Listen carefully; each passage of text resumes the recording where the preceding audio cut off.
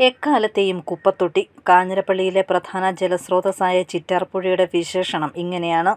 നഗരഹൃദയത്തിലൂടെ ഒഴുകുന്ന ചിറ്റാർപ്പുഴയ്ക്ക് മാലിന്യം എന്നും ഒരു ശാപം തന്നെയാണ്. ഇപ്പോൾ വേനൽ കടുത്തതോടെ ഒഴുക്കുമുറിഞ്ഞ് പലയിടങ്ങളും വറ്റിവരേണ്ട സ്ഥിതിയാണ്. കാളകെട്ടിയിൽ നിന്നും ഉത്ഭവിച്ച് വാളക്കയത്ത് മണിമലയാറ്റിൽ ചേരുമ്പോൾ ദൂരം ഏകദേശം എട്ട് കിലോമീറ്റർ മാത്രം. എന്നാൽ യാത്രയിലുടനീളം വ്യാപാര സ്ഥാപനങ്ങളിലെ മുഴുവൻ മാലിന്യവും വഹിച്ചാണ് പുഴ ഒഴുകുന്നത്. ഒഴുക്കുമുറിഞ്ഞ് തുരുത്തുകൾ പലയിടങ്ങളിലും രൂപപ്പെട്ടു കഴിഞ്ഞു. ഇറച്ചിക്കടകൾ, പച്ചമത്സ്യ വ്യാപാരശാലകൾ, വീടുകൾ എന്നിവിടങ്ങളിൽ നിന്നുള്ള മാലിന്യം പ്ലാസ്റ്റിക് കവറുകളിലാക്കിയാണ് പുഴയിൽ തള്ളിയിരിക്കുന്നത്. ചിറ്റാർപ്പുഴയെ മാലിന്യമുക്തമാക്കുന്നതിനായി ആവിഷ്കരിച്ച ചിറ്റാർപ്പുഴ പുനർജനി പദ്ധതിയിലും യാതൊരു പ്രയോജനവും ചെയ്തിട്ടില്ല. ചിറ്റാർപ്പുഴയുടെ കൈത്തോടായ കടമപ്പുഴത്തോടും മാലിന്യം നിറഞ്ഞു കിടക്കുകയാണ് ന്യൂസ് ബ്യൂറോ, കാഞ്ഞിരപ്പള്ളി